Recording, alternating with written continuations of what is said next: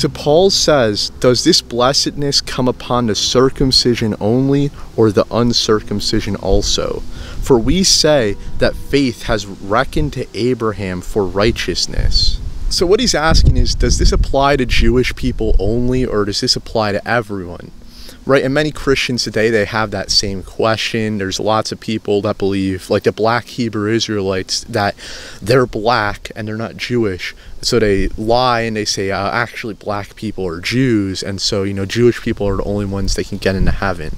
And the reason he refers to it as circumcision and uncircumcision is because if you're familiar with Jewish practices, Jews are commanded in the Old Testament to circumcise themselves. And so all Jews, they're circumcised. So one of the main ways that you can distinguish a Jew from a non-Jew, I mean, not that you would necessarily be looking there, but one of the ways you could distinguish them is by whether or not they're circumcised. So he says, let's look at Abraham. How was it reckoned then?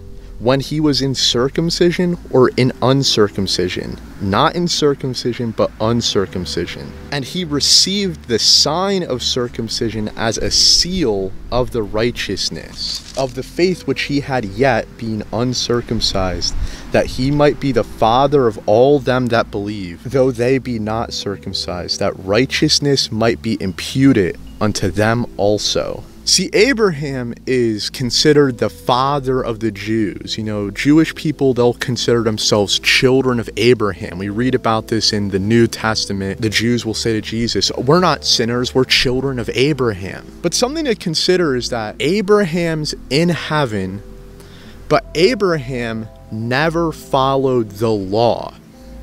Abraham wasn't alive when Moses was alive. You know, Moses came about like 400 years after Abraham died, if not more. Never even saw the Ten Commandments. He might have had some conception of the Ten Commandments, but he had no commandments given to him. And this race of people called the Jews didn't exist until long after he was dead. It was his grandson who was first named Israel, right? And that's what the nation of Israel is named after that guy, Israel. So if you want proof that non Jews can get to heaven, Abraham, Isaac, Sarah, they're all great evidence that this is true. And of course, we know Noah's probably in heaven. And Noah wasn't a Jew. He was, you know, living like a thousand years before Abraham. So if you ever encounter a black Hebrew Israelite or a Christian identity person, anyone like that, you just point them to Abraham. You just point them to Noah.